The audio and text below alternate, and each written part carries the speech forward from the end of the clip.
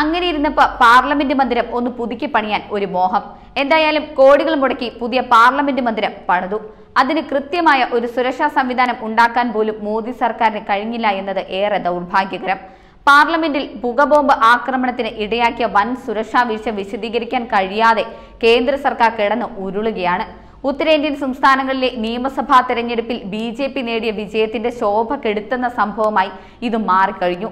ആക്രമണത്തിന് ശേഷം പ്രധാനമന്ത്രി നരേന്ദ്രമോദിയും ആഭ്യന്തരമന്ത്രി അമിത്ഷായും പാർലമെന്റിൽ എത്തിയിട്ടില്ല.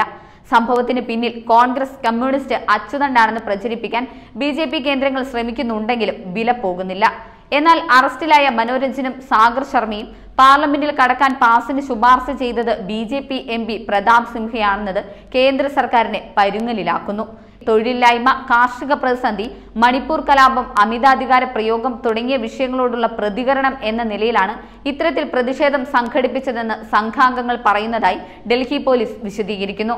എന്നാൽ എം പിമാർ പോലും സുരക്ഷിതമല്ലെന്ന സന്ദേശമാണ് ഈയൊരു സംഭവത്തിലൂടെ തെളിഞ്ഞതെന്ന് പ്രതിപക്ഷം ചൂണ്ടിക്കാട്ടുന്നു.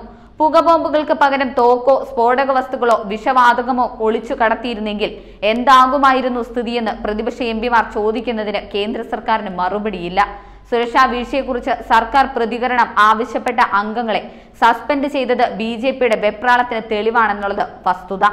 ചെറിയ കാരണങ്ങളുടെ പേരിൽ പ്രതിപക്ഷ അംഗങ്ങൾക്കെതിരെ നടപടിയെടുക്കുമ്പോൾ പ്രതാപ് സിംഹയെ സംരക്ഷിക്കുകയാണ് സർക്കാർ ചെയ്യുന്നത്.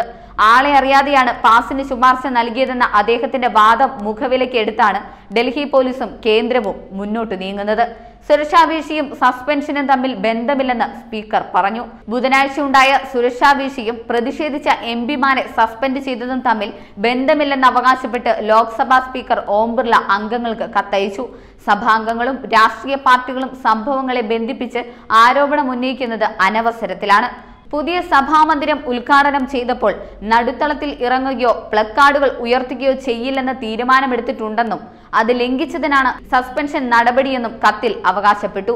സുരക്ഷാ വീഴ്ച അന്വേഷിക്കുന്ന സമിതിക്ക് പുറമെ സഭയുടെ സുരക്ഷാ സംവിധാനങ്ങൾ വിലയിരുത്താൻ സ്പീക്കർ എന്ന നിലയിൽ ഒരു ഉന്നതാധികാര സമിതിയെയും നിയോഗിച്ചു. വൈകാതെ റിപ്പോർട്ട് അംഗങ്ങളുമായി പങ്കുവയ്ക്കും.